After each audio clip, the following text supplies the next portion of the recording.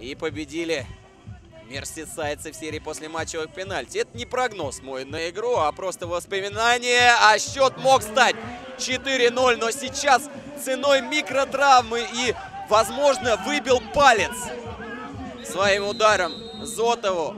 Конечно, неумышленно Алексей Макаров. Уже была травма руки по ходу и нынешнего сезона, и предыдущих. Вратарям всегда достается в пляжном футболе.